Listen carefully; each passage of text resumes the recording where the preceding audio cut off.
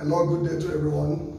Uh, Eastern Gate Apostolic Convergence is here once again. Uh, like I said earlier, Eastern Gate Apostolic Convergence is uh, uh, a gathering of the saints. Uh, Eastern Gate Apostolic Convergence has this mandate. The mandate is um, the restoration of the apostolic doctrine to the church. Uh, when we talk about the apostolic doctrine, we are actually talking about the gospel of the kingdom. Now, don't forget that the gospel of the kingdom is different uh, from the gospel flying out everywhere. Uh, there's a you know, gospel of things, gospel of uh, survival, uh, gospel of uh, self-arrival, all of those things. You see, what, what our Lord preached is the gospel of the kingdom. Now, John also preached the gospel of the kingdom. For John said, I repent, for the kingdom of God is at hand. In other words, there is a kingdom that is coming. When Jesus was here, he spent his time teaching uh, the, the kingdom of God, kingdom of God, parables, kingdom of God. All he says were kingdom of God. In fact, after his death and resurrected, and the scripture said that for those 40 days he taught, you know, the things pertaining to the kingdom of God. Apostle Paul also preached the kingdom of God. And the Bible said, and Philip went to Samaria and preached the kingdom.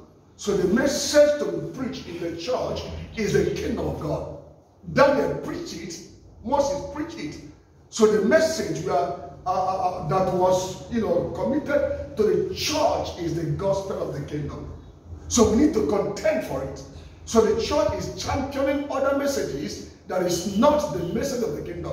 But you see, I have this hope that uh, uh, Yeshua said, and this very gospel of the kingdom will be preached, then the end come. That you know that a time will come that the gospel of the, of the kingdom will not be only seen. But a time will also come when that gospel will return to the church. So this meeting is geared towards ensuring that the gospel of the kingdom is to the church.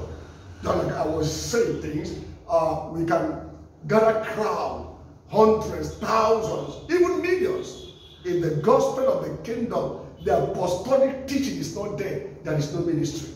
So the foundation of the church ministry is the apostolic doctrine.